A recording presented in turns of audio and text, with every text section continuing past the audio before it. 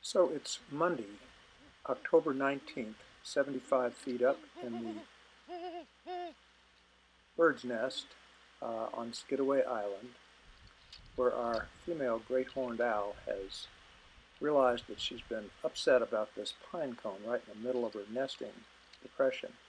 And she decides to, to take action, but the pine cone seems to be fighting back. She's having a hard time dealing with it.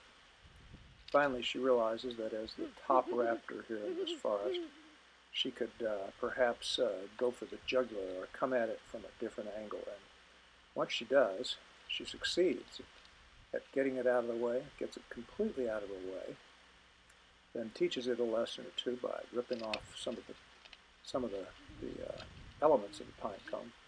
But amazingly, the pine cone fights back and manages to drag her and itself back into the nest depression.